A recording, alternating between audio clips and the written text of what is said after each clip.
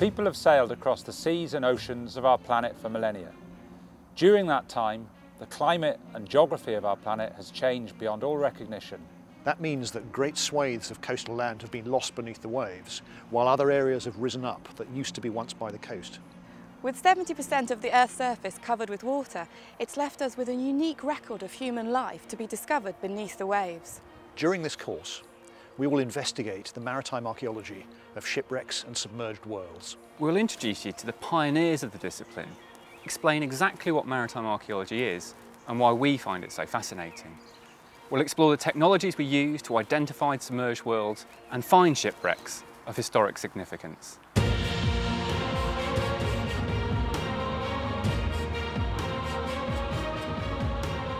UNESCO have estimated that there are a staggering 3 million shipwrecks worldwide.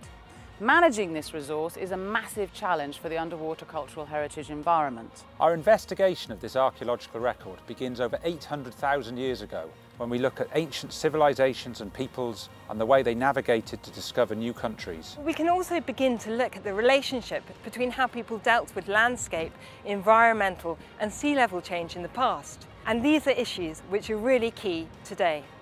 Through studying shipwrecks, we'll explore the technologies, the skills and the motives for setting sail, the social worlds of seafaring. We will also tell you how you can become involved in maritime archaeology through a number of different organisations wherever you are in the world.